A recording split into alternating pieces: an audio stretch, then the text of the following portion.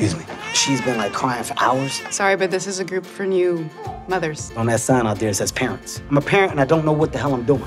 Girl's got some stuff flying out her ass and she can either hit you with a streamer or she'll buckshot you. It's a quick whop. I need help. I don't know how you're gonna do this. Mm, mm, mm. If you could have only one parent, I wish you could have had your mom. Because she would have been better at it. And mommy was the best. Go to sleep, Maddie. Maddie, go to sleep. Maddie, go to sleep. Go to sleep, Maddie. It's not working out. She's not a clapper.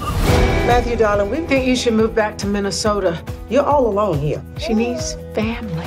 Raising a child, it's a non-stop, all-day, all-night affair. I look. You look great. Don't say it just to be saying it. You look like a king. King in a sling.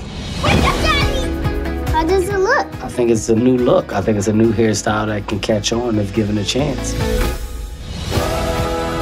Mr. Logan, Madeline doesn't have a mother to model after. I am well aware of what my daughter doesn't have. You think you can do this, but you can't. No, man, you're right. I can't do it. But you know what? I'm going to do it because I'm a father. God, Maddie. You Thank God today I got there in time to hold her hand. Alone With Liz, so long, I didn't get to hold her hand. She was gone. and you It's always just us. Other people have more people. walk round your. I just want to do what your mom would have wanted me to do. I promise there You are trying to make everything perfect. but we don't have any control. Wherever you are, I want to go there. Wherever you are, I want to go there too. Somebody's cutting onions or something close to us or something. I don't know.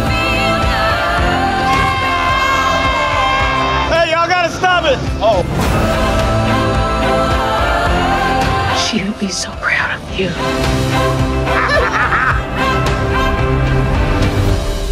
Two kisses. One for mommy. One for me. hold on to me. Stay close. Don't be scared. Ah!